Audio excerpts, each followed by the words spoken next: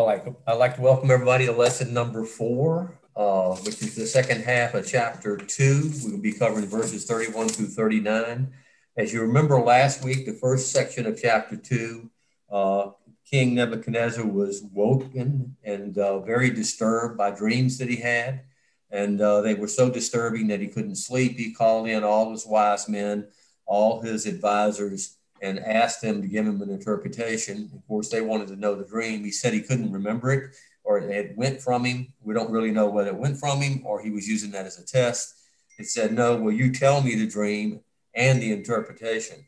And no one could do it. They say not even the, you know, only the gods could do that, and gods won't give that to any human being. Well, he sent out a command, uh, an order to kill all the wise men in Babylon. They came to Daniel uh, and Daniel, with the executioner, struck favor and said that uh, he'd like a, a, conference with the king. He granted it. King granted Daniel time. Daniel came back to him and said, You know, I, I, I will tell you the dream and its interpretation. And so we kind of finished up last week at, at uh, verse number 30 and right in the middle. So, verse 31 is where we're going to pick up where it gives really what the dream was and then we're going to get into a deep explanation of that. But one thing to think about when it talks about end days and latter days throughout the scripture, it's really talking about end times. It's talking about the second coming, the second advent of Christ. So let's, when we hear end days and latter days, we got to remember that. We also want said, you know, we got to remember why Babylon. Why is this focus on Babylon? Well, there's two reasons here. It's not Babylon is kind of the center of all false religion and always has been uh, for, for the history prior to this. Uh, Babylon also started what was known as the time of the Gentiles. And it was the, the exile of, of the Jew, Jews from their nation and they were all brought to, to Babylon in, in slavery, essentially. And that was for 70 years. We talked about that before in the previous history. So with that, we're going to get into to number uh, verse 31. I'll let Annette read that. In something strange with the PowerPoint, but we will get through it. So Daniel 2, verses 31 through 35. You, O king, were watching, and behold, a great image this great image, whose splendor was excellent, stood before you, and its form was awesome. This image's head was of fine gold, its chest and arms of silver, its belly and thighs of bronze, its legs of iron, its feet partly of iron and partly of clay. You watched while a stone was cut out without hands, which struck the image on its feet of iron and clay and broke them into pieces. Then the iron, the clay, the bronze, and the silver and the gold were crushed together and became like chaff from the summer threshing floor, and the winds carried them away so that no trace of them was found. And the stone that struck the image became a great mountain and filled the whole earth. So, what is important as we look at this? What is important for us to know about these 10 toes? I'm going to start there. Most of the, the, the statue will be discussed in detail a bit later, but right now, what are we going to pick here about the 10 toes? What do you notice?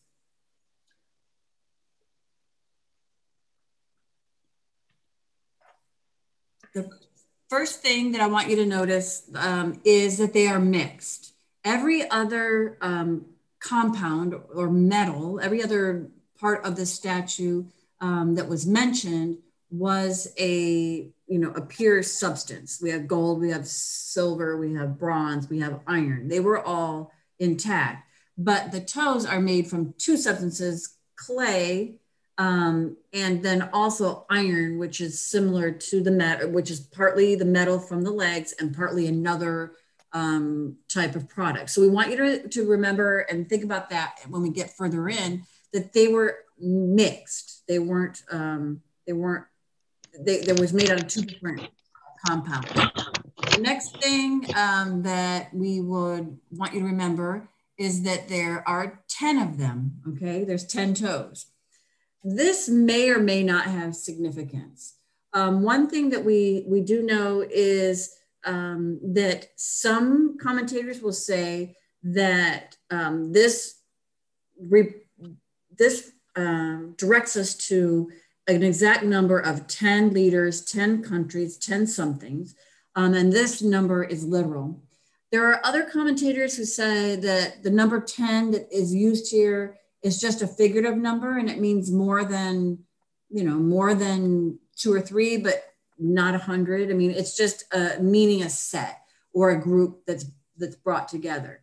But just keep this in mind as we go on that it's a mixed composition and that it is um, a specific number. There is a number there. And some some commentators will hang their hat on the number and say it will be this number. It may increase and decrease over time, but it will be this number. And, and like Annette said, others don't agree with that. And we're going to get into the explanation of this a lot more because these verses are going to be repeated down here. So we want to get into that deeper explanation as we move forward. But what is the significance of Nebuchadnezzar hearing of a great mountain? He says, and the stone that struck the image became a great mountain and it filled the whole earth. What's the significance of that to Nebuchadnezzar? What does that have any bearing on him at all?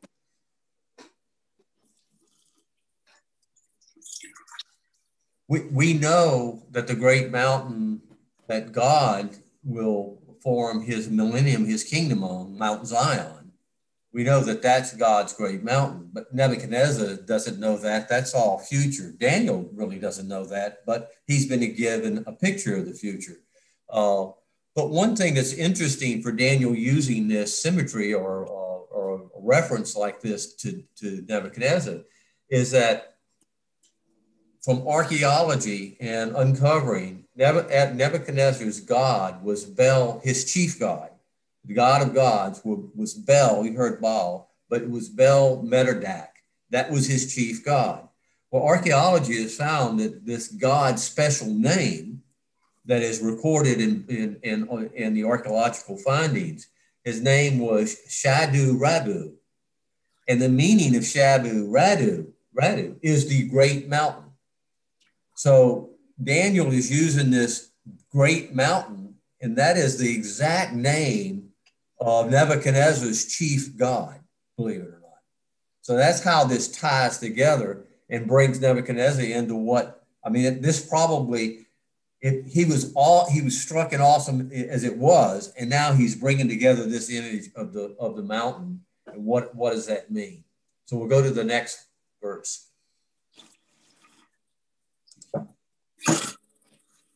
So um, we have um, the this image of the statue. We just want to give you it in total. We are going to break it apart. Well, we're not going to break it apart, but we will um, dissect it um, and, and label and discuss each section. But this is it in total. So the next scripture is verses 36 through 38. This is the dream, meaning what the scripture, the scripture we just read, that was the dream. Now we will tell the interpretation of it before the king. You, O king, are a king of kings. For the God of heaven has given you a kingdom, power, strength, and glory. And wherever the children of men dwell, or the beasts of the field and the birds of the heaven, he has given them into your hand. And he has made you ruler over them. And you are this head of gold. And so we know that the that Babylon um, was in existence as a world power from 605 to 539.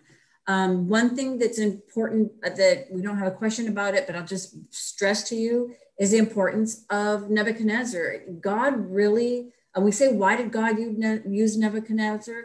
Nebuchadnezzar was one of the only um, totalitarian, really, Davis told you many, many times how well rounded he was. He was a brilliant architect and a brilliant warrior and strategist, and he was very wise.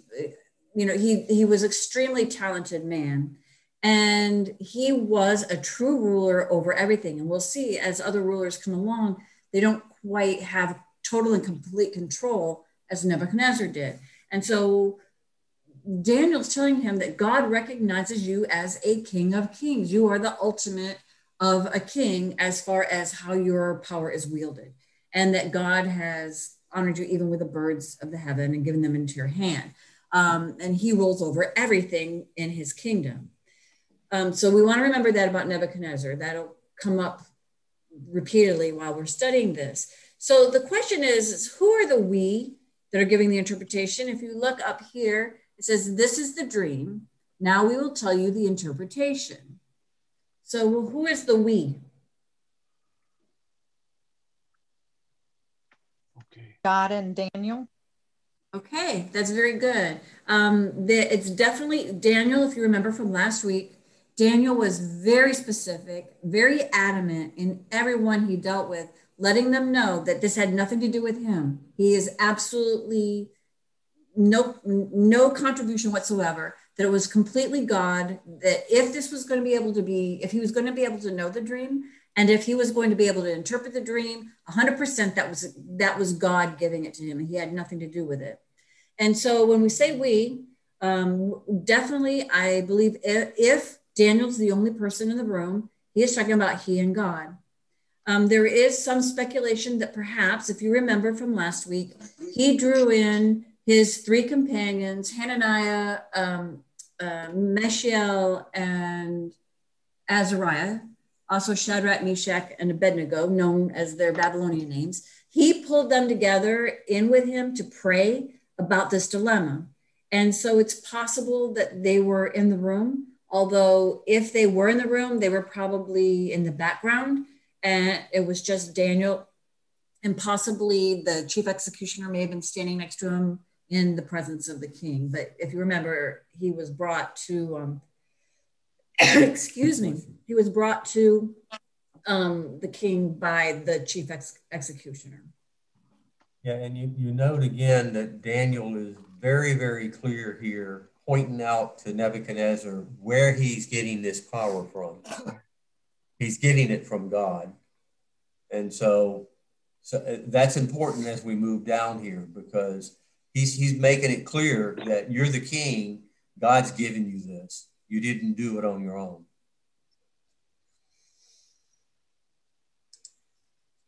So verses 39 through 43. But after you shall arise another kingdom inferior to yours, then another, a third kingdom of bronze, which shall rule over all the earth. And the fourth kingdom shall be as strong as iron, inasmuch as iron breaks into pieces and shatters everything. And like iron that crushes, that kingdom will break into pieces and crush all others. Whereas you saw the feet and the toes, partly of potter's, clay and partly of iron, the kingdom shall be divided, yet the strength of the iron shall be in it, just as you saw the iron mixed with ceramic clay. And as the toes of the feet were partially of iron and partially of clay, so the kingdom shall be partially strong and partially fragile. As you saw iron mixed with ceramic clay, they will mingle with the seed of man, but they will not adhere to one another, just as iron does not mix with clay. Whew. All right. What does all that mean? Well, one thing we're going to get into is we'll get into the statue in, in the next slide, and we're going to explain the gold, the silver, the bronze, the, the uh, iron legs, and the feet. But what does it really mean in verse 39 when it says that they will be inferior to yours?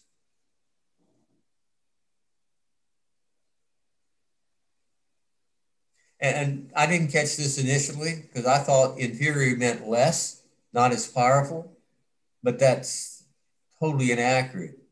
The word used here, when you go back to the original Greek, and this was actually read, written in Aramaic, uh, the fact is, is that it means of a lower section below you. It means a step down from you, not in power, not in anything. As a matter of fact, when we look at the statue and we look at the kingdoms, uh, Nebuchadnezzar was the shortest kingdom there was in all the kingdoms that's described here. So it has really nothing to do with being inferior in any shape, fashion, or form. It just means that they are a step down from him. The other thing that you could look at if you want to take uh, of lower, then we know that gold is higher value than silver. Silver is inferior to gold uh, in value. Uh, bronze is inferior to silver and gold in value, and iron is inferior to uh, bronze, silver, and gold. So you can look at it from that standpoint. You could also look at it on the, the weight of the substance. Gold is the heaviest, the densest substance there is, followed by silver, followed by brass, followed by, uh, followed by iron. So you can look at it that way as well. But the fact is, while it decreases in value and it decreases in its uh, weight contents, it increases in strength. And as we look at this statue, we look at the kingdoms that it represents, they actually get stronger while their representation of what's here actually gets weaker. So it's interesting how I use that. And when we look at these kingdoms, we know three of them will actually be defeated, and we'll talk about that, but one really never gets defeated. We'll hit that too in just a minute. So the next question, what is ceramic clay? I, I find that an odd. Here we've got these four metals and then the feet are mixed with ceramic clay. Does anybody know um, your versions? If you're looking at your Bible, it may um, list miry clay, and the others um, has been listed as pottery clay. Um, that's other versions. So, what do you think ceramic clay is? Is there a significance here? mine, mine says miry, and then um, there's a marginal note in my Bible that says another, an, an alternative is uh, earthenware. Uh, okay. So ceramic clay is a clay made out of dust. You know, we have different types of clay, but this is a clay that starts as a dust, and of course you add the water. And this is, a, as you said, the earthenware. It is the clay used to make tiles, ceramic tiles, ceramic uh, pottery, and so what we know is it's extremely brittle, breaks very easily. Um, there have been people that try to draw an analogy, and I want to be careful about um, drawing an analogy from each and every word, although I don't think, as I said before, I don't think God puts things into the Bible just randomly for flowery language. I think almost everything there has a meaning. But they say if you look at ceramic clay that comes from dust, um, this is um, referring to man coming from dust and going back to dust at death, and which kind of leads into the next question that Dave has. Yeah, so what does it mean to be mixed with the seeds of men? And I'm going to give you a couple of different alternatives here, but does anybody have any suggestions before I give you what the alternatives to some of the commentators were? There's one commentator which I don't particularly agree with, but references that these this seeds of men is representing really uh, the the Nephilims, the angels that interbred with humans and became a mixed race, became a, a hybrid gene in the human race, in which God used uh, Noah and the flood to wipe out, and He also instructed Joshua to slaughter every man, woman, and child to make sure this hybrid gene got never came back into to existence. I'm not sure I have any other than one commentator that points that out. So I, I, take that with somewhat of a grain of salt, but I pointed out that is that is somebody's opinion. The most thought about here is that the seeds and men referring here is that he's really talking about the 10 toes, which we'll see as 10 nations, which we see as 10 kings. And we'll see that they will try to intermix among themselves. Kings, when there's a monarch, when the monarchies were in place, would take a son of one king and the daughter of a king of, a, of, a, of another nation and try to marry them so they could bring the nations together. No one has ever been successful in bringing these nations of the Roman occupied western side of Roman uh, Empire ever together. No one has been successful in bringing Great Britain, Germany, Spain, France. Oh, no one has ever brought them together up under a single rule. Now they have tried many times and they have all failed. And what it's saying is that there will be seeds of men, but they will not gel together. They will not form unity or conformity, and they will be weak as a structure, even though some would be strong. You know, Portugal is probably weak. We consider Germany as strong. So there will be mixtures of weak and, and strong nations, but nothing will bring them together. And he's referring to this really as the 10 toes, which really doesn't exist until I say this until time of Antichrist. So this is not something in place today, and we're going to talk about that in a little bit more detail. So let's let's get to the slide. And we use kind of a, uh, we had very many slides to look at, and some of them were extremely detailed. Uh, I know I received one from Wayne that was just great, but it was, it was detailed. So we're going to use more of a summary view of this thing because this has been picked at and, and, and looked at over the years by commentators and commentators and commentators. I can tell you what we're presenting is very much in line with all the commentators. This is one of the few areas when you start reading commentators, they all agree upon. so, which is really unusual. So when you look at this statue that was in his dream, the head of the statue is Babylon. He was only around for 43 years, and actually Nebuchadnezzar wasn't there the whole time. So it was a short lived kingdom out of all of them. Its value was around gold. Nebuchadnezzar was in, you know, he was just enthralled with getting gold. He brought gold back from every place. His palace was layered in gold. He had gold cups, gold plates to eat on, gold utensils. It's just gold, gold, gold. So it says that this is really a resemblance The gold is Babylon. And Daniel says, the gold is you. You're the king of Babylon. So no question about that. The next is silver.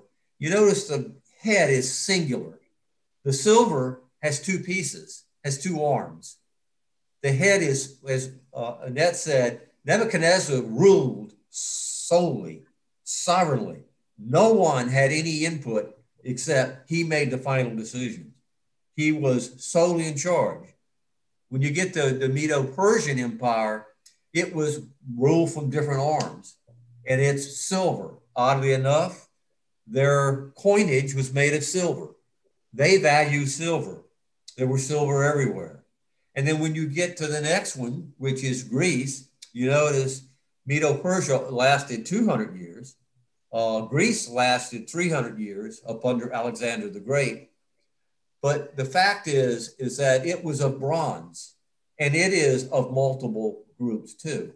But its fact is, is that bronze is the weaker, but all of Greece's shields and, and swords and things were made of bronze. So they were known as bronze. And then the last leg of this empire, which is Rome, and we say Rome, Rome was never conquered. So let's not forget that. Rome came apart at the seams.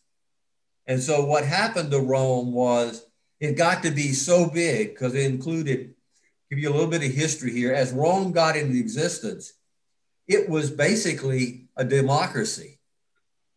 And it was up under a rule in which nations started coming to Rome to join the democracy, to, to join the group, to get protection, to get food. So a lot of the northern uh, tribes the, would come and ask, can we be admitted into your group? And they would admit them upon the condition is that Number one is they followed all their rules and regulations. And number two, they had to accept Christianity as their only language, only religion. So Rome was building these nations, bringing them in. They had to be Christianity, had to be the religion, and they were bringing bringing these in and uh, forming a bigger and bigger area. It got so big, it got unwieldy. It couldn't rule it. So they divided it into the Western Kingdom and the Eastern Kingdom the Western Kingdom finally came apart, not by a revolution, not by anybody defeating anybody. It just broke apart in 400 uh, AD, uh, where they became separate nations up under no common rule. The Eastern Roman Empire lasted until the 1400s. So it lasted almost 1500 years. It too really never got defeated. So there's never been any type of empire that's ever been in place like Rome. And when we get to the 10 toes and 10 pieces at the bottom, this gets to be, and I'll say this why are none of the four that I just listed debated? Because Daniel tells you who they are later in Daniel.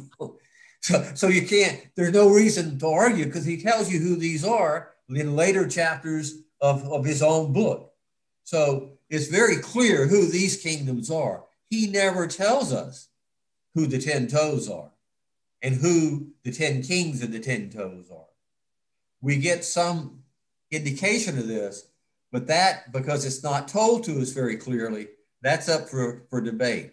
And some think it's the world, the one world union. Some thinks it's the European Union. We're going to get into those, those discussions.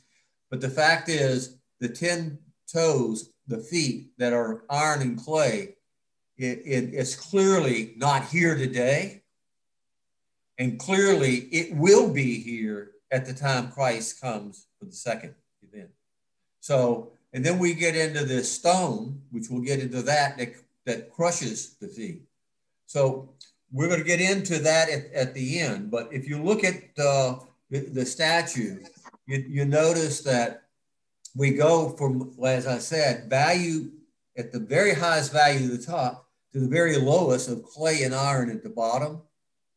But the strength of the empire is in opposite, which is ironical that it would be laid out that way. Until you get to the feet. Until you get to the feet. And the, the feet is a union, but we're not quite sure. We'll talk about that in a minute. But there was a professor, Alexander Tyler, that wrote 200 years ago, and I'm going to give you a summary with this, which I thought was amazing because we talk about the, the, the 10 kingdoms and the 10 codes. You, the USA is not mentioned anywhere. Huh? Where's America? Not mentioned. Well, neither is China, neither is Russia, neither is Japan, neither is Australia.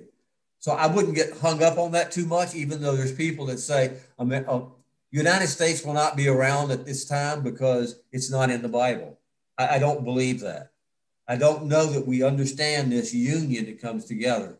But Professor Alexander Tyler, writing about the Greek Empire uh, 200 years ago, when, when America was still 13 colonies. So take this back America is still 13 colonies. This is what he wrote, and I found it pretty shocking. He stated that a democracy cannot work emphatic. A democracy cannot work, for the people will quickly learn that they can vote themselves money from the public treasury. From then on, they will vote for whoever offers the most benefits, and eventually this government will collapse and be followed by a dictatorship. And that's what's happened to most democracies. Remember, America was never a democracy. Our forefathers said that we are a republic, not a democracy. And so I found this interesting that democracies, democracies in their purest form cannot exist a long, a long term. And so I don't want to look at that and say, okay, if this is what he's saying, that means USA doesn't exist anymore. No, it doesn't. I think we have our challenges today, and we all know that. We all know we're, we're facing a state and time which is unprecedented, unprecedented in any shape, fashion, form. But I don't know that these 10 toes and 10, uh, 10 toes about the feet really have to do with a European Union or does it have to do with a union and a world, one world order? And uh, we'll talk about that in a little bit. So we'll go, go to the next slide, which is an interesting piece, a tidbit of history. So it's really evident that I don't think any of us would doubt that God um, directs events in history or has had his hand all over events in history um, to have outcomes um, to, to go along with his plan and his de desired endpoint. And the Battle of Waterloo is a really, I found this extremely interesting. So the battle, and, and I was not really privy, I didn't know about this history before learning it through studying for this, this Daniel. But the Battle of Waterloo was had two generals, two competing generals. We all know about about um, Napoleon. Um, I, you know, I've always heard about Napoleon. I had not heard so much about the Duke of Wellington. So Napoleon was the general on the French side, um, and uh, the Duke of Wellington was on the British side. They were both very, very similar lives. And in fact, almost freakily similar lives, almost spookily uh, uh, similar lives. They were both born on an island. Um, they both, uh, in the same year, not too far apart, um, they both had three sisters and four brothers, exactly. They both lost their fathers at an early age. Both went to military school in France. Both excelled in mathematics. Both became lieutenant colonels within one day of each other. Um, many feel that God swayed this battle to Wellington um, because if he had not won, the world uh, map at the time would have looked much differently. Of course, France was trying to bring everything in to be one country under France. And the Duke of Wellington was fighting for countries to remain sovereign as they were. Um, but God apparently, or what the thought is, did not wish Europe to be one single country. And so they did not let Napoleon win. And it's interesting how Napoleon really was storming through the continent, um, very successful, an excellent strategist, doing a really good job. Um, and it looked like France might become this world empire, this whole thing, similar to the way Rome was. But then he goes to fight a battle in Russia. And the interesting thing is, it was this freak snow uh, storm that came through and shut down the battle and caused illness and cut off supplies. So Napoleon lost that battle with Russia. That was one of his first losses. And so turned around and headed back and went to Waterloo. And this is where he met Wellington and had the battle. And, and many feel that there's no reason that um, Napoleon should have lost the way he lost, um, but that he he lost because God swayed the battle over to Wellington to maintain Europe as separate and sovereign uh, countries and not one unit.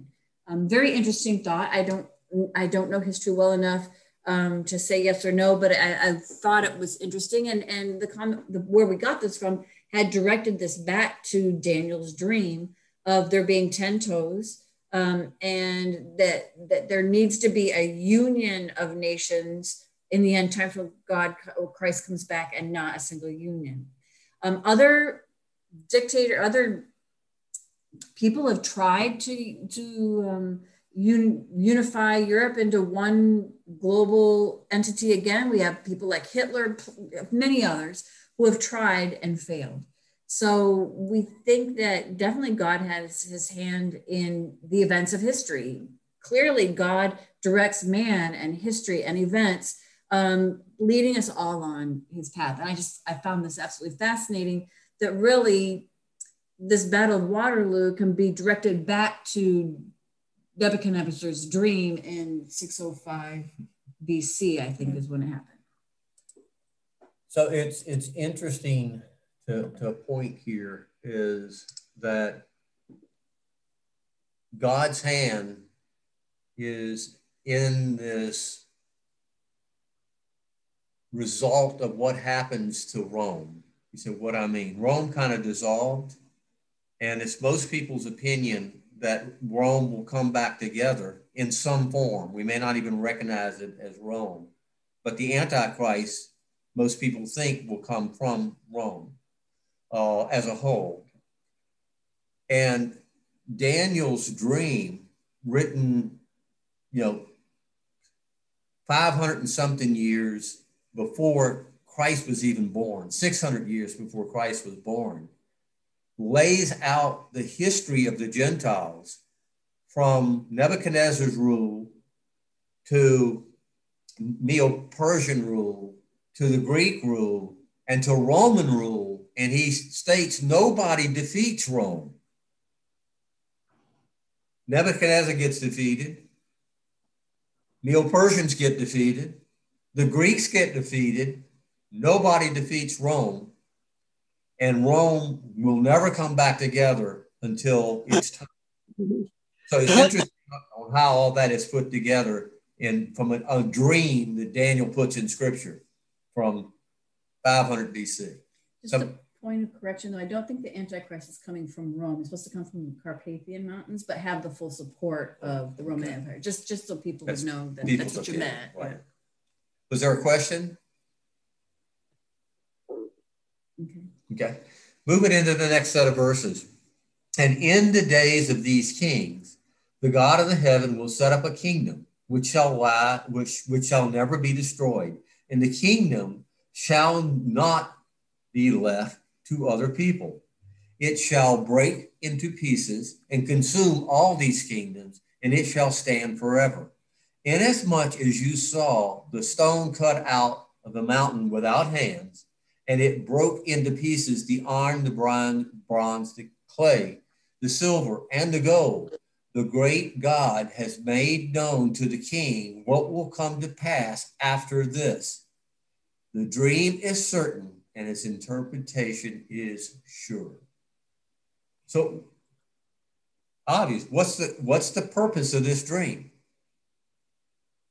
So, you know, ultimately, the kingdom of God will eliminate all other kingdoms is the way I see it, you know, and and and and God's kingdom will be eternal, and and uh, all other kingdoms will pass.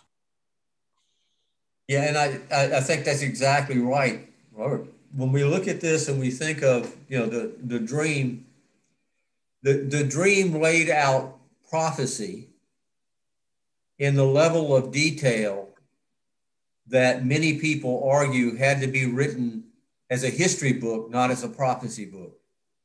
It's, it's no one somebody in 500 BC, 600 BC can talk about the kingdoms that would exist in this part of the world, which was the known world at the time, and how long they would last and who would succeed each one.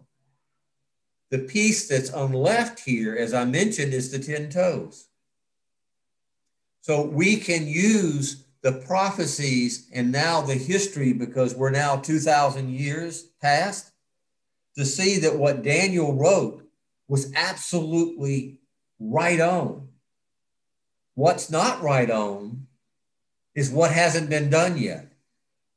And that's the end time prophecies. And that's why the book of Daniel is so tightly integrated to the book of Revelation. And what's happening with end time prophecy. The fact is, is that it tells of future events, those events from our history we see as 100% accurate, so that it, we should have all the faith that what he's writing that is yet to be done will be done just like he said it will be done. And that's why I tell you there's some commentators that says there's going to be 10 nations. I don't care what you say at the time this happens, because Daniel is so specific in what he's saying that every part of his prophecy has been that accurate. And it will be the same accuracies associated with the end times. Yeah, and what you mentioned, yes, there's one, there's going to be one kingdom that's left, God's kingdom. But God crushes these other kings. It says that he will destroy them. Think about Armageddon. What happens is you have all the nations and the kings come against Christ, and they're all crushed immediately. And so, this is prophecy that Daniel is telling us is going to happen that we ought to really believe in and we ought to really take to heart because the fact is, all the rest of the prophecy that he laid out has been 100% accurate. So with that, next question. So what do you think the stone is not cut by hands? Uh, I don't know. I'm a guess. I'm guessing in that, but uh, you know, it keeps coming to mind the uh, the stone which the builders rejected has been made the head of the corner. So I think it's that stone. that that is, that is correct, and nobody kind of tries to find another meaning. Um, the stone is Christ, Jesus Christ, the Messiah. And um, there are several places in the Bible that refer to the Messiah as the, the stone or the rock. Um, you've got Zechariah, Psalms, Isaiah, all of them using the terminology of rock to describe, to, to describe the Messiah. Um, it's important to know that he did not destroy Rome or the Roman Empire with his first coming, and that that is something that is being reserved for his second coming.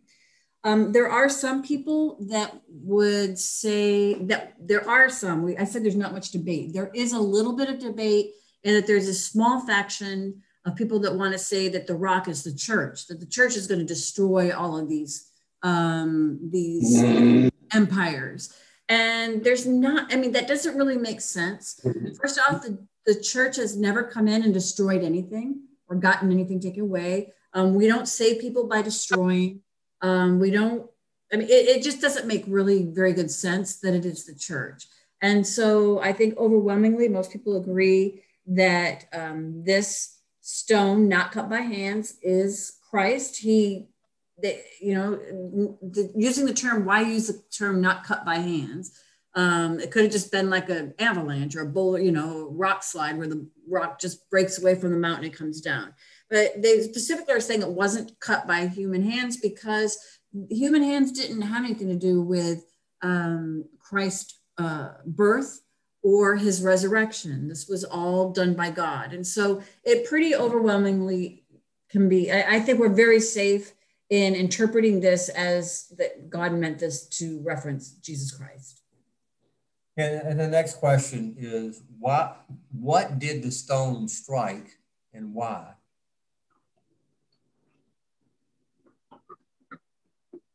Didn't strike the head or the chest plate or the what did it strike?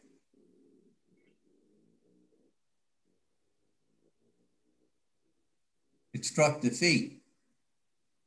And the, free, the feet is the weakest part of the statue. It's made of iron and clay that will not bind together. And so you actually have this top heavy statue that is standing there and it's like exploding a building. You go to the building at this foundation point and you set a piece of dynamite and it goes blam and the whole building comes crumbling down in the ashes and dust. That's the vision I get here with this stone striking. But the issue here is I struggle with is it talks about striking and all of it crumbling. The fact is, the only thing that's left when Christ comes is the feet. So while I think Daniel's giving you the whole thing crumbles, Babylonian empire goes away. The Medo-Persian goes away. The Greek empire goes away. The Roman empire just dissolves of itself, just abandons itself. So there's nothing crumbling there. They just go away. But the feet is what's in operation when Christ returns. It's the kings that are here when Christ returns. That's why I think it references the feet. It's the weakest part but it's also the part that's still here on Christ's second return. Mm-hmm. Interesting. Um, what is a kingdom that will last forever? This is easy. Whoever wants to raise their hand and get an easy question. What's a kingdom that will last forever? God's. God's kingdom. That's true. Um, there's no question that Christ will rule over all nations. When Christ comes, um, all powers, all nations, all everything will we, will be gone and it will be Christ um, in rule from the millennium to the new heavens and the and the new earth. So it's the kingdom of heaven and it's God's kingdom. And so the next question I think is really interesting when you think about it. Why give this prophecy so early in history? We're talking about 600 BC. Why, why is that? Why is this prophecy given at this point to Daniel? Any thoughts there?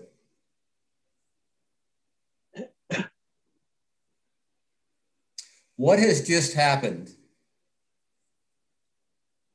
Nebuchadnezzar sieged Jerusalem. There was, been, it was three sieges.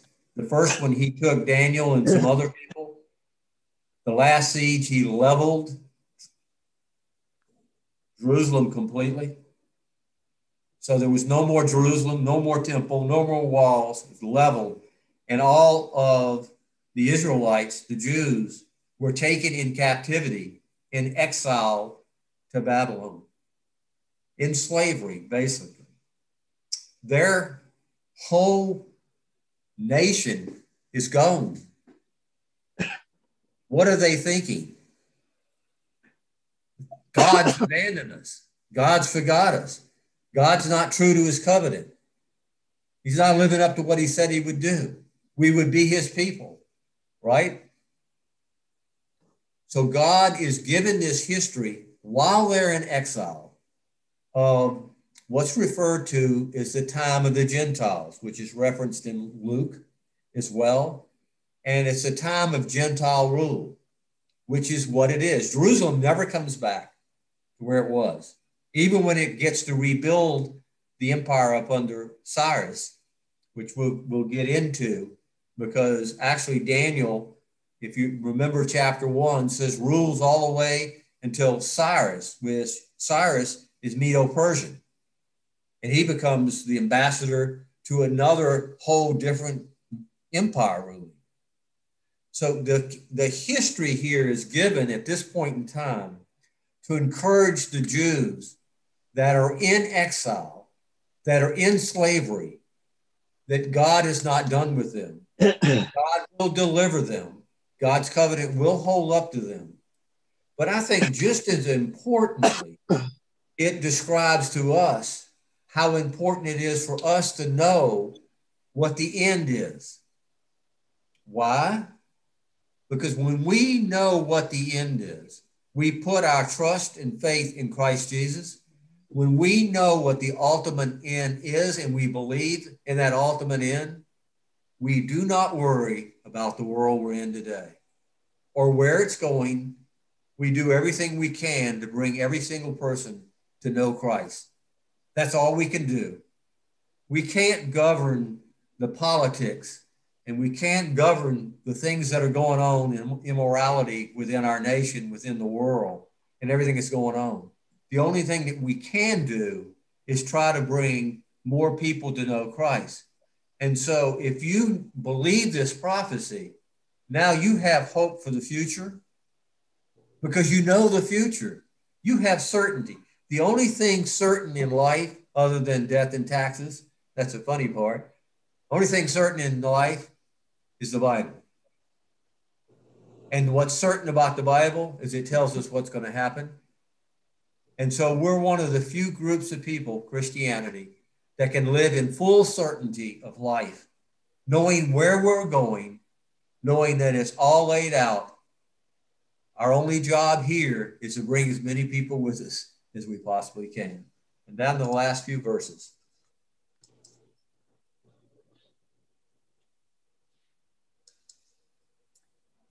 Forty-six through forty-nine. Then King Nebuchadnezzar fell on his face prostrate before Daniel and commanded that they should present an offering and incense to him.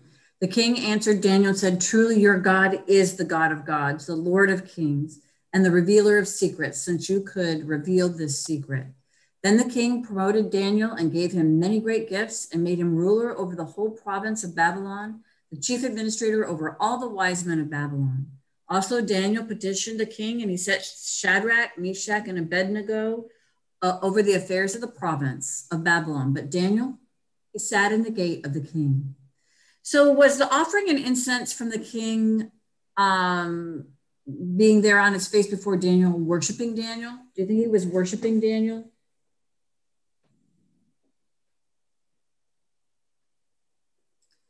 The thing that's important for us to get from this is Nebuchadnezzar was a very religious man. I'm saying religious. He believed in his gods. He went through the practices of his religion. He put a lot of stock in his gods. Um, Daniel had been very forthright with him in saying that um, no, he shouldn't, that he had nothing to do with this. This is all my God revealing this to me um, to reveal to you. God, God is giving this to you, this, this dream and this revelation. Um, and so Nebuchadnezzar falling down, uh, he's not worshiping Daniel, is not offering offerings and incense up to Daniel. It's his his demonstration that um, he recognizes that the God of Daniel, of the Israelites, is stronger and more powerful than his God um, that he's been worshiping, that his gods, his little statue gods, did nothing um, to help the wise men be able to interpret his dream or help him even know the dream, whatever, that, that they were helpless or in this situation. And so he gets um, quite a bit of um, um, respect for the God of the of Israel. And we just need to remember that Daniel was made it so clearly plain that this had nothing to do with him. Um, that I don't think Nebuchadnezzar would bow down and worship Daniel. I mean, Nebuchadnezzar was this demagogue. There's no way that he would um, worship any man, let alone a child captive slave um, in his employ. So I, we think that this really is his falling down on his face before the God of Israel, um, and the messenger. And Daniel just happened to be the messenger that brought. Yeah, and what impact did this correct interpretation have on Nebuchadnezzar?